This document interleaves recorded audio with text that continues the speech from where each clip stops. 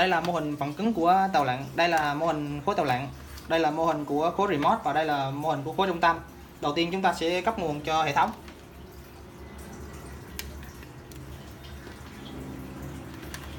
Và bật công tắc tàu lặn lên. Đầu tiên chúng ta sẽ ờ, điều, thực hiện điều khiển động cơ. Đây là nút tiến. Đây là nút lùi.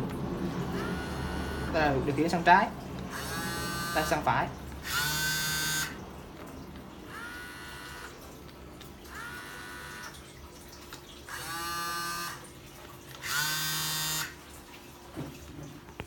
Tiếp theo chúng ta sẽ à, tiến hành kiểm tra kết nối à, với, với bộ, bộ trung tâm bằng cách à, pin tới địa chỉ của nó.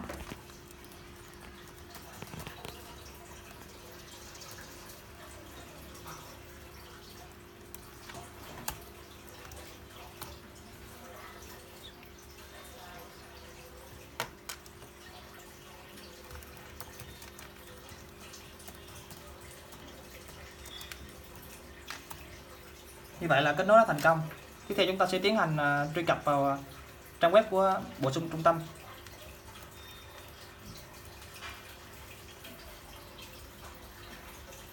Đây là giao diện của trang web với các à, độ với các giá trị là nhiệt độ và độ pH.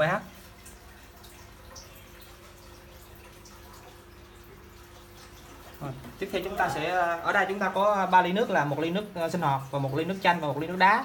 Đầu tiên chúng ta sẽ kiểm tra độ pH và nhiệt độ của một ly nước sinh hoạt ly nước máy á các bạn.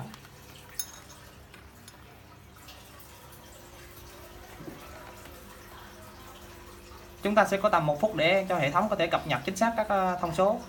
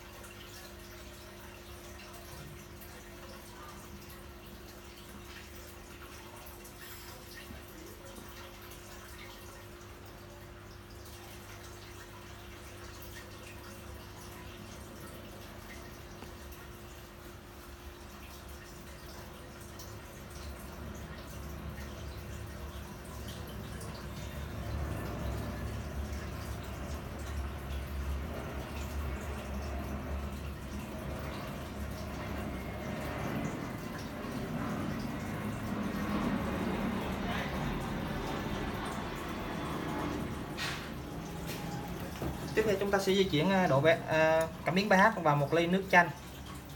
Và cảm biến nhiệt độ vào một ly nước đá. Để xem như thế nào?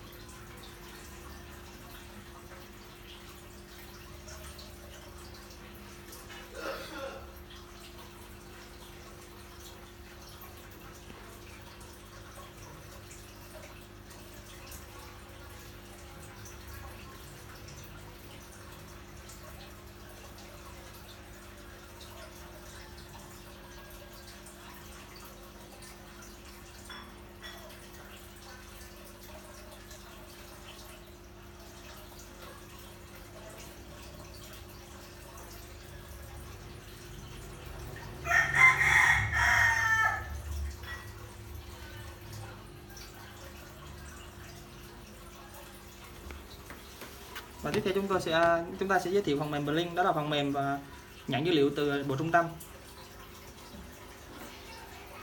Chúng ta có thể thấy thì à, lúc nãy thì nhiệt độ và pH trên trên web là 22 độ và 4 độ. Nó được cập nhật trên phần mềm Blink như thế này.